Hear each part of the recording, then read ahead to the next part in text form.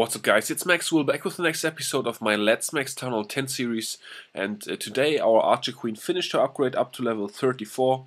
Actually she finished yesterday. I did not upgrade her overnight, I actually waited for two reasons. For one because uh, I did my war attacks last night with her and for two because um, she was getting a little bit too close to the king again so you can see I've been waiting about 12 hours now since her upgrade finished and uh, she's now um, three days, 21 hours away from the King upgrade. So, um, yeah, she was getting closer because the, for the last King upgrade, I also used him in war when he finished up. So I had a couple of hours uh, before I could upgrade the King again, or before I chose to upgrade him again. So that's why those upgrade times got closer together. So now I had to wait a bit on the Queen as well, just to have that still in sync and not put too much pressure on me for the farming. Yeah, the first X-Bow is still building as you can see. Um, and obviously we are gonna want to upgrade our queen today up to the next level. So why not start the video off with that. 165,000 Dark Elixir and she's going to level 35 so after that only 5 levels left on the queen before we have, will her will have her maxed out uh, all the way to level 40 so uh, certainly good to get another level out of the way as you can see, I have Lava-Luni in my camps, couple of Lava Hounds flapping around here. Um, actually been doing a bit of uh, Lava-Lunian because I've been in need of Elixir. As you can see, my uh, laboratory is finishing up today as well, so this is going to be in this video probably as well. Uh, the freeze spell is going to level 2 and I want to start my um, dragons up to max after that because those are very important for raiding Town Hall 11s in war. Um, yeah, but that's going to be the end of the video today. So, um, in the meantime, let's check out a couple of attacks which I didn't, then maybe also a couple of war attacks, because those were pretty good this time as well. So, yeah, let's start off with a couple of farming attacks. Alright, so I'd actually like to show you guys this one right here, um, because this is how I also use uh, Mass Miner. So some of you may think that I always only go for 3 stars with this and try to kill the whole base, but sometimes it's also cool to only use a couple of miners on those Dark Elixir drills and then uh, piece out of the base. Actually, I usually I would have sniped off of this Elixir, of course, as well, but I had to disconnect for this one, um, so that's why um, yeah, I did not manage to place the rest of my troops. Just those funneling miners that I dropped uh, right there in the left corner were uh, all that uh, I could place down before I disconnected. So yeah, but this is still an okay rate, 3,800 Dark Elixir. Um, although I didn't get anything else out of this one. And sometimes I'm even only sniping with the miners, so uh, whenever I find a dead base with the drills outside, I'll only drop like 5 miners and move on to the next one, so that's possible as well. And then of course there's raids like this where I drop all my troops. Um, a little bit more difficult because a couple of those drills are towards the inside of the wall and then you obviously always have to negotiate the enemy heroes. Like you can see the queen is pretty close to this drill right here. And then at the bottom um, this drill right here is defended by a couple of defenses, so what you do is you just, just go a little bit heavier with the miner deployment close to those buildings, and then it should be pretty easy to still grab those drills, so um, yeah, maybe a little bit more insight on the mass miner rating. Don't want to bore you too much with that, but uh, in this case it worked out very nicely again um, for uh, yeah the full league bonus almost with 70% as well. You will notice that I have dropped back down to crystal one that was intentional, but it's not the end of the world either. And then this raid right here that I just had was pretty cool as well. Lava-Lunian for this one. Decided to start off with a couple of balloons to just snipe off this loot right here because I meant to start my uh, main attack uh, from the top over here. So that's why I started sniping right here at the bottom and then uh, once that is all going I will uh, start my Lava-Loon up here so um, Actually, a couple more balloons right there. Yes, okay. And then we will space out the two lava hounds, get the balloons rolling in behind nice and spare me the minions behind after that. Three remaining haste spells going down, a rage spell right in the core for those balloons on top of that enemy queen. They are gonna the lava pups are gonna get her out of the way. And then I drop my clean my queen just to clean up along with the balloons.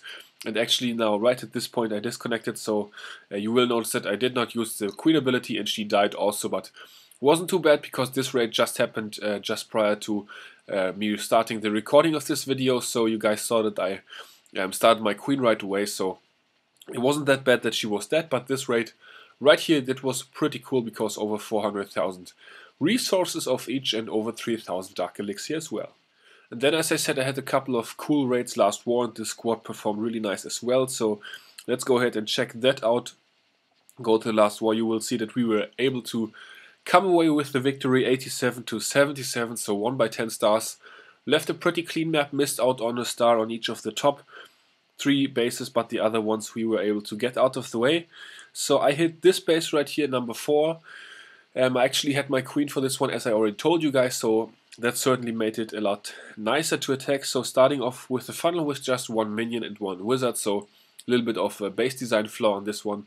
I used the giant just to tank for those wall breakers, crack the wall open because I wanted to go the golem to go straight into tank for my bowlers and the queen. So those guys are coming in behind. A rage spell is going to help them out to just uh, to totally destroy this um, compartment right here. Then I have a poison spell for the enemy clan castle. Actually, the archers are gonna go sort of crooked uh, up towards the left, which was not the plan, but the golem peeled off to that side, so a little bit unlucky, but my bowlers were able to bowl over that inferno tower, which was nice, and got some really nice value out of the kill squad, got all the defense that I wanted out of the way. Just sent in one balloon right there for that bomb tower that was left standing just for pathing purposes. And then I had three lava hounds and a bunch of balloons too kill the rest of the defenses. Obviously, the X-Bow set to ground sort of uh, free loot to go in with lava Lavalunia in this base. There goes the second Lava Hound, freeze spell down on air defense and Inferno Tower. Rage spell for the balloons in the core. Yeah, my freeze spell is only level 1 for this attack, but uh, still was able to make it work. A little late on the last Lava Hound, but it's gonna go on uh, towards that next air defense and tank that for me. And then I have a couple of haste spells left to speed the balloons through for the rest of this attack. Actually, sort of lacking cleanup for this one. Could have saved a couple of balloons for that, but yeah, in the end didn't matter because at this point I had about one and a half minutes left, so plenty enough time to get this done. And yeah, pretty cool 3 star on the end on this Town Hall 10 right here with two multi Infernos, but all the X-Bows set to ground and uh, base design probably not the best either. So relatively easy even only with the Queen and no King for this one. So yeah, able to wrap up the 3 star on this one and then I actually hit the Town Hall uh, 11 as well. So let's go ahead and check that out. Um, that was the number one base which I got 2 star for the team. So um, I knew there was a Lava Hound in the clan castle. So um, I started off with sniping percentages. Three balloons for this uh, wizard tower right here a bunch of minions for those three buildings to get those out of the way. And then I suicided my queen because, uh, as I said, I knew there was a lava hound in the clan castle because this base had been attacked previously. So I didn't want the queen to lock onto the lava hound because obviously she would most likely kill it and then um, the lava pups could be a problem for my Valkyries, so I decided to suicide the queen uh, and that just take out a couple of buildings for her. I created one half of the funnel for her with, um, yeah, just uh, using one giant to tank for her and then just suiciding her on those buildings right there. So got three or four buildings out of the way and that is really all that I needed. Wallbreakers going down in front of the golem then actually wallbreaker fail right there but the Valkyries are going to be able to shred through the wall with no problem. Early Rage Spell is going to help them out to get through that initial wall right there.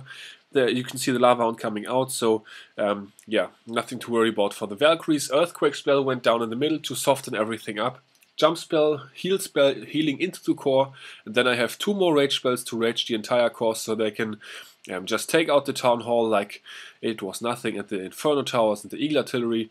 And then I actually have a couple of troops left for sniping percentages, but there's not many free buildings, so and the Lava Hound is gonna mess up my archers. So um, yeah, ending up on 61% right here, but still a pretty solid attack.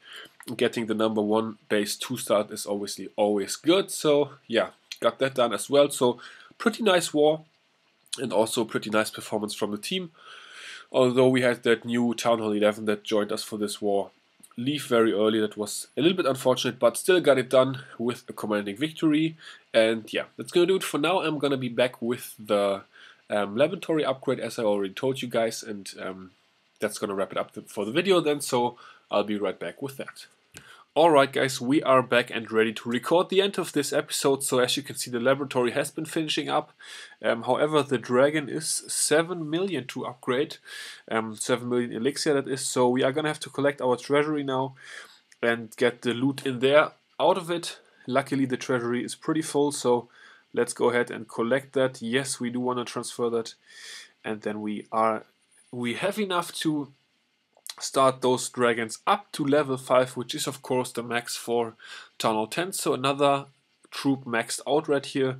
We've been doing quite a bit of raiding. As you can see, we are at 132,000 Dark Elixir now, so uh, been doing some real work today. The one gem boost is uh, in effect, and I didn't really have anything to do today, so I was pretty much boosting all day long. Uh, farmed quite a few walls. Actually, let's take a look at those walls, because I'm doing really well on those right now. So as you can see, we have 204 walls at level 10 and uh, 20 um, two walls at level 11 so uh, a, a, total of 226 uh, walls that are already at level 10 and 11 which is of course my goal and not very many left as you can see to get up to standard. So that's looking really good as well. I'm gonna hop back to our main screen right here and then we are gonna do yeah maybe why not do another wall?